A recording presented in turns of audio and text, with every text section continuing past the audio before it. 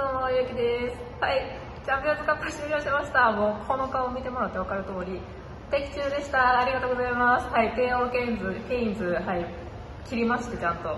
馬券はクラウンプライドから1頭軸で、ちょっと予想を上げてたのと1点増えてたんで増えて、まあ、5頭に流したんですけど、当たりました、えー、ジュンライトボルト、クラウンプライド、ハピの決着ということで、えー、3連続万馬券いただきました。ありがとうございます。ほら、なーテーオーケインズいらんかったやろ。まあ、ちょっとパドックもテオケインズ正直言うと良かったんで、ヒヤヒヤしてたんですけど、いやー良かったです。なんか今日、あの、8レースぐらいからな、やっててんけど、8レースからそのメインまで1個も的中なくって、ああ、どうしようかなと思って、ちょっと、あれやったんですけど、チャンピオンズカップで取れたのでよかったです。もう大きくプラスでございます。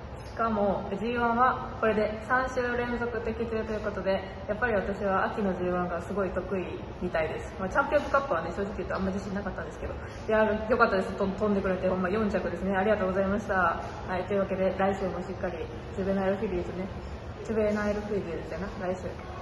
はい、えー、自分でアイルフリーズに向けての叩きが今日だったので、いやいい結果残せてよかったです。来週もしっかり頑張っていきたいと思います。えー、概要欄から SNS とか、えー、メルマガ、ブログ、えー、オンラインサロンの方もぜひチェックしてください。それではまた来週。バイバーイ。気分ええわ。